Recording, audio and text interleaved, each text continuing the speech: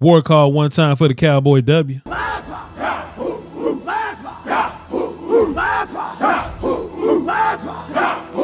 There's nothing that sounds better than that after Cowboy W. It's Voch Lombardi. We're here victorious uh, versus the LA Rams. Uh, we're gonna move on because we got to beat up on the Eagles this week, but we will be watching film breaking down what happened uh, versus the Rams. All right, so y'all stay tuned in all week. We got some work for you. Free smoke, free smoke. Uh, before we get into the film, I wanted to highlight my comments for the week. I wanted to just scroll through all my comment sections and find any kind of comments that I thought stood out, or just you know just any comments that resonated with me. So y'all leave me some, and we'll see. Uh, we'll see what we got here. Right?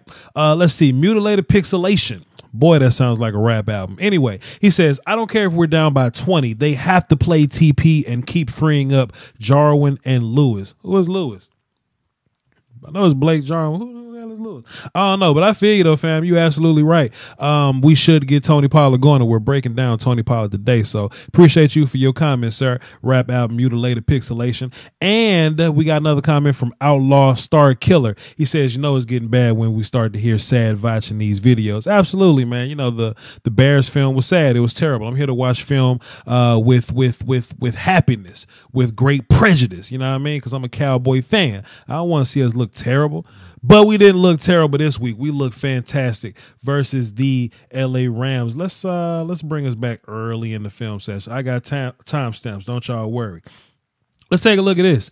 Um, in this film session, we're gonna see some uh, some plays that we've been setting up all year, some plays that we've absolutely run before, and some plays that we've never seen us do before. Um, we'll cross the, cross those roads as we get there. Get off my screen. We'll cross those roads a- as we get there. But this is something that we've run before. Well, we'll line up in a nasty little split formation. We'll give the ball to Tony. But what's different is this: is what I mean by split formation, right? Tony will be in the backfield already, and Zeke will just be um, the running back on the other side of him. And, you know, depend on what we're doing, either one of those guys could be fullback. I like it when Jamize Olawale's on the sideline. That's my opinion. But what we did different this time was Tony Pollard was on the outside. He was lined up in the slot somewhere. Then he came in motion. Okay, he came in motion, and we um, got the ball to him. And we take a look at the blocking scheme up front. Trust me, we're being thorough because I want to make a point here. Take a look at the blocking scheme up front here. Jason Witten is going to block Clay Matthews. We're going to uh, do a combo block.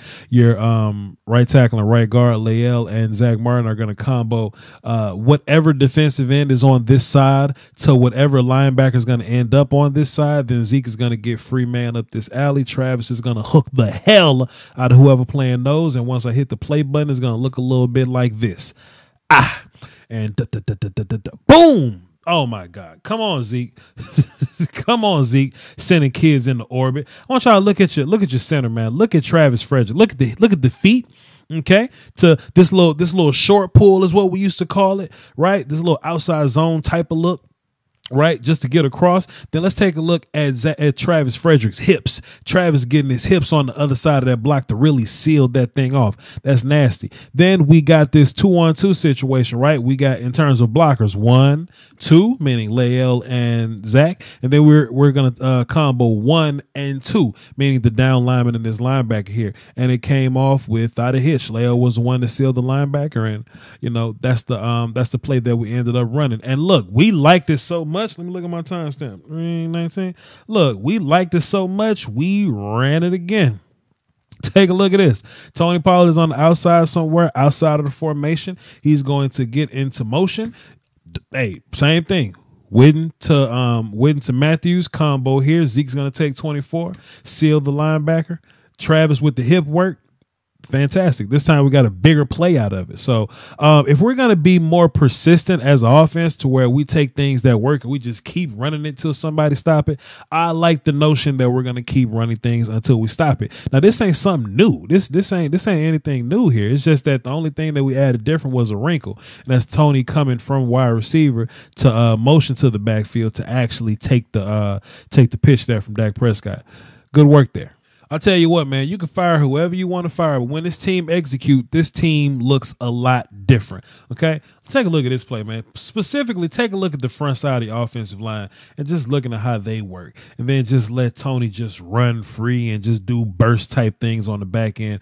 Good good block by uh, Cooper on the outside there. What you're going to get from your left offensive line is like a waterfall technique. And I'll probably crop some of this stuff out. But basically, what they're doing is they're cutting off the uh, the backside of the defense, right? Su'a-Filo is going to take a quick step and just wall people off. Tyron Smith is just going to take a step and wall people off. And look at the front side of your offensive line. One, two, three, four versus one, two, three, four. If we can get them boys to block like this, all we need is a six game winning streak and we will be at the promised land. Can I get a war call for that?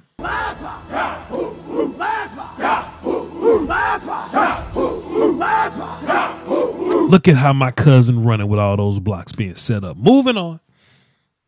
I don't want to disrespect nobody, man, but I was listening to the Cowboys radio station this morning, and they were making it seem like this look is brand new. This uh Tavon Austin go in motion and turn it into a triple option type look. Um, and I've broken this down on film before, right? I ain't talking crazy, but like I just feel like sometimes, you know, just because people syndicate it or work for a syndicated radio station, they feel like they could just say any old thing. We've done this before. Let's turn this into a contest. For anybody that watches my film sessions like like every week. Can y'all tell me which which game that was? Like, give me a game and a timestamp in the film session. I'll send y'all some some free merch. That'll be the contest I do. The first person to provide me with that information, the the the the timestamp and the Tavon Austin touchdown play that we did this on. Right. Tavon Austin is going to go in motion and this is going to turn into a triple option look, right? Let's go to cartel view so I can get a better angle on this. Tavon's going to come into the backfield here. And the option that we have is to either give it to Tony or Dak keep it and run, or Dak keep it and pitch to Tavon to run. And we scored off Tavon pitching and running. This ain't the first time we've done triple options. We've done triple option looks all year. Somebody let me know what that was, man. But um, yeah, we ended up giving the ball to Tony Pollard here. One thing that I found interesting was um the personnel here. Right, the personnel here. Uh, we got Blake Jarwin on the field, not Jason Witten. And we got Tony and Tavon and not Tony and Zeke or Zeke and Tavon. That's interesting. You know, hopefully we can keep playing around with the with the uh, personnel group so we're not just uh, you know doing the same old mundane thing every single week with our personnel packages or whatnot. Let's move on. My cable bill was way too high. I reached out to affordablesticks.com. They sent me a fire stick, plug that thing into the HDMI. Now I get unlimited shows, movies, and live TV. I'm a huge sports fan, so I love League Pass, Sunday Ticket, and I get the pay per view fights for free. That's something for the whole family. You can buy a fire stick for every TV in the house and still spend less money than you would on cable. That's affordablesticks.com. There's a link in my description. You should go click it. Cut the cord, man. This is something I know exists, but I don't think we've done it before. But the read option out of the pistol formation, uh, normally when we're uh, running the ball out of out of shotgun, the running back is on either side. Um, but if we're gonna run the read option out of the pistol formation, then Dak Prescott is going to have to commit to a side, and then he's gonna make his read from that side. So we're gonna run play here. We're just gonna run the play, then we'll come back and talk about it because y'all can't stand it when I start to rewind the play and I haven't shown it yet. Uh, Dak is gonna commit to a side this is going to be the side that Dak you know Dak um, commits to, and as you as you can notice that we're we're looking up on this side, we're looking to see what the vibes are on this side of the field, right? I'm assuming that Dak could even hand the ball off and he could keep it. I'm assuming that's what this step here is for. Ah, see that step right there. The one thing that's kind of got me a little bewildered is why is La'el Collins even touching this dude? Like if this was a true read option, which it is, if this was a true read option, La'el would just be letting uh, Clay Matthews run free and he'll be getting upfield to go block somebody else. So I did find that interesting. But um, I don't know. We'll cross that road whenever we get there. Voch ain't got all the answers, but uh, I know this is a read option look. And don't be surprised if at some point within this next six games we're going to play, um, if we line up in pistol, commit to one side, read, hand the ball off, or or not hand the ball off, that keep it and runs, depending on what happens front side. Or I'll tell you what else could happen. And you know what? This is interesting too because everybody else is run blocking like they're firing off the ball, and La'el is kind of leading his guy upfield. That's kind of interesting. I want. I wonder if it's a situation where if La'el comes off and blocks the hell out of that dude, and there's no, there's like no bodies backside. There's nothing but grass backside. Could we pull the ball there and then run up one of these little alleyways or whatever? I don't know. Let's just keep our eyes on that. Write this down. This will be on the test. We'll come back and have a conversation about it. It's something that made me sick on this Tony Pollard touchdown. They was trying to hate, man. They was like, oh, the backups was out there, Voch. Tony, Tony that, that ain't nothing. Tony, Tony did that against the backups, Voch. Well, let me tell you what. There go Jalen Ramsey right there. He's on the field. And let's fast forward to the cartel view. That is Aaron Donald right there. And you're going to see Aaron Donald beat the shit out of Cam Fleming. But Aaron Donald's right there. 90 is there. Like, this is the first team or at least they got first team guys on the field. And you see Aaron Donald gonna smoke the hell out of Cam Fleming, but Tony just gonna get going and get going quick. He's gonna take this thing all the way to the highs, and um, we're gonna celebrate with some uh, bring that thing back, chilling the end zone for a little bit. We're gonna um, we're gonna celebrate a little bit, and um, you know, you know, holler at the fans and reap our our rewards or whatnot. But anyway, hey man, this is the first of a handful of film sessions I'm gonna drop this week, man. Uh salute to the Patreon people. We're going to do a giveaway every single week for my uh not every single week. Ooh, pardon me, every month uh for our Patreon people, but we'll have every single tier involved. Um it used to just be the ten dollar patrons, you know, somebody won a shirt. Now even the dollar patrons, the two dollar patrons, five, every single patron will have a will have a chance to win uh to win some merch. You know, with all the little logos, the ass whoop stuff like that. It'll it'll be free. I'll mail it out to you.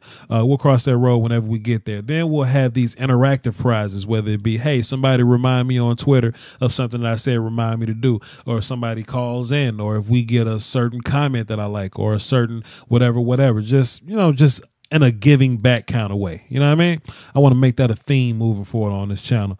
Um, because we've been blessed over here. Follow me on Twitter, V O C H L O N B A R D I, so you could be a part of those Twitter interactive um, giveaways and things like that. Um, I think that's all I got for y'all, man. Discord is in the description and all that. And hey, check out my ads, man. Y'all hold it down for the Doski Woski and the Peasky Whiskey. Until next time, salute. After canceling my cable, I saved $2,400 this year by switching to Beast TV through channelsforcheap.com. Some people pay 200 plus dollars a month. I paid 120 a year, or you can go 15 a month if that's what's convenient for you. You get 2,500 HD channels. A thousand of those are in English, and there are plenty other international channels, TV Guide, and we get all the sports. One of my favorite things is multi-screen feature. So if I don't know what I want to watch, I can tune into four different channels at one time that you can watch on four different devices, and it's available on Fire Sticks, smart TVs, tablets, and if you're on the go, you can watch TV on your phone. Hit the link in my description or go to channelsforcheap.com where you can get a free seven day trial. That's a whole week for you to just sit down and play with it and see what you like about it. Then come back and make a purchase. If you have any questions, go to channelsforcheap.com, hit this little button right here, and they'll respond to you immediately. That is channels number four cheap.com. The link is in the description. I highly recommend it. Let's do it. The YouTube Illuminati is taking money away from your favorite content creators, and people often ask the best way to support the channel directly. I tell them that subscribing to my Patreon. Just $1 a month would increase production and the frequency of uploads. Basically, that means more content for you. For less than a bag of almond M&Ms, you can support the channel, call dibs on requests for future videos, and you can have access to Patreon exclusive material like my throwback film sessions. That's patreon.com slash Lombardi. I appreciate the support. Doski Woski. Salute.